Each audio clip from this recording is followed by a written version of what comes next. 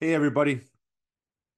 Hey, so I want to try this new concept. Um, in the past, if something ever popped into my head or if I had an opinion on something, I'd write a post or a blog post and or an article, whatever.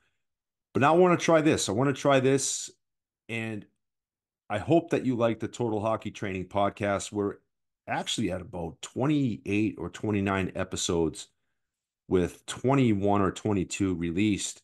And so if you like the show, please share it. And if you'd like if you'd like to see any specific guests on the show, please reach out. Please let me know. And uh, again, thanks for listening to the Total Hockey Training Podcast. It's growing, and that's pretty cool. And I appreciate all of you who listen and watch. So, listen, I want to try this new concept here. I want to talk about the NHL Scouting Combine. And I want to talk about it because, one, I think I've been to 20 of them and two, it's just around the corner here. And I remember going to them back when I first started working in the NHL. It was at a hotel up by the Toronto airport. It was in the the ballroom of one of the hotels up there. And it was kind of smaller back then. You know, you had maybe a strength coach or an athletic trainer from every team up there. Not all the teams were represented in terms of watching the physical testing but every team's amateur scouts were there because in addition to the physical testing that they do, the, the prospects do, they also have meetings. So I want to talk about it as it is coming up, like I said, and people ask me all the time, like, do I see value in it? And yes, I do. Yes, I do. I do from a strength and conditioning coach's perspective.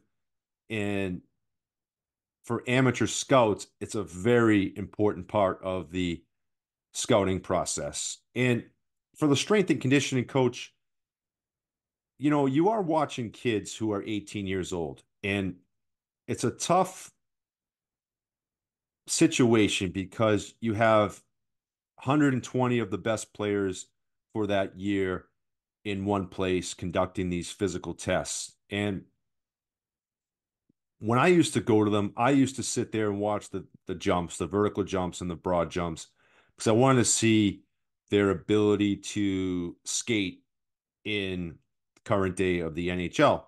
And if I was still going, I'd still watch that.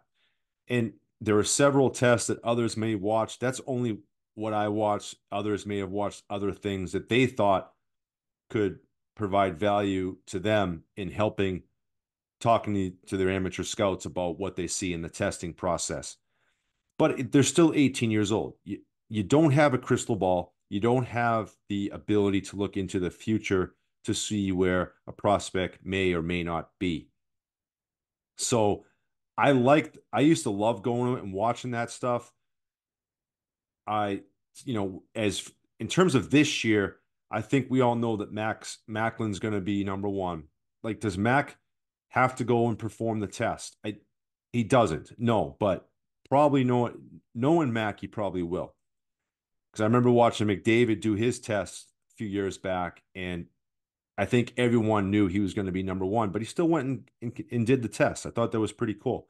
I actually remember him tripping and falling during the 5 10 5 and he got right up and tried to finish the test. I, I respected that. So, um, just about the physical testing process. You go there with an open eye, you don't know what you're going to see, and you, you make your notes on what you do see, and you try to collaborate with your amateur scouts about where they could see this player being, especially if that specific team has the specific the specific team that you're working for has interest in that specific player.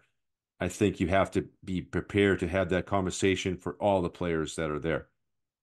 Now, from the amateur scout perspective, this is a big deal to them because they've busted their ass the whole year from whatever August of 2023 until now, watching players, watching players over and over and over again, compiling lists, having meetings with their management. And it's a big deal to them because of the the meetings that take place. They I think it's 20 minutes a team could sit down with a player individually and talk to them. And I think that's great because they get to know them. You you, you don't get to know the the player you see on the ice playing throughout all the, the year without having a conversation with them. So I think that's very beneficial. And yeah, I think the combine is is great. And I think it does allow teams to to have a, a, a better layer on top of what they see of these kids as players. So I think that's very beneficial. And also, I just want to mention that you know amateur scouts, they hold their cards close to their vest in terms of ranking their players or their draft lists. And I just want to mention that because I, I talked about it before.